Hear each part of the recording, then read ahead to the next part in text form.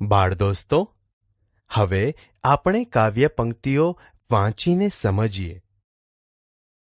પૃથ્વી સમૂહ નહીં બેસણું, આભ સમૂહ નહીં છત્ર, પ્રેમ સમી નહીં માધુરી, આપ સમો નહીં મિત્ર. સમજૂતી, પૃથ્વીના જેવી બેઠક બીજે ક્યાંય નથી, આકાશ જેવું રક્ષણ કરનાર છત્ર બીજે ક્યાંય નથી, પ્રેમના જેવી મીઠાશ બીજે ક્યાંય નથી. પોતાના આત્મા જેવો મિત્ર બીજે ક્યાંય નથી. પોપટ કોયલ બોલે થોડું, પણ લાગે ભલું. વૃથા ગુમાવે તોલ, બહુ બોલીને દેડકા સમજૂતી. પોપટ અને કોયલ જેવા પક્ષીઓ થોડુંક જ બોલે છે, પણ તેમની વાણી આપણને સારી લાગે છે.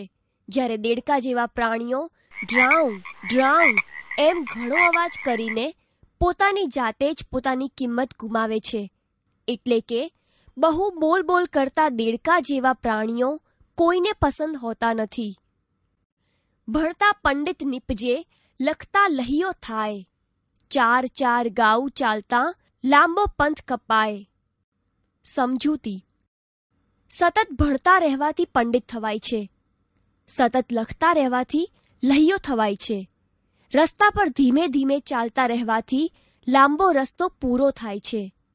આમ, આ રીતે કોઈ પણ કાર્યમાં સતત પ્રયત્ન કરતા રહેવાથી હંમેશા સફળતા જ મળે છે. શમેના વેર વેરથી, ટણેના પાપ પાપથી. ઔષધ સર્વ દુઃખોનું મૈત્રી ભાવ સનાતન. સમજૂતી. વેરની સામે વેર રાખવાથી વેર ક્યારેય શાંત થતું નથી. પાપની સામે પાપ કરવાથી પાપ કદી ઘટતું નથી, પણ વધતું જ રહે છે.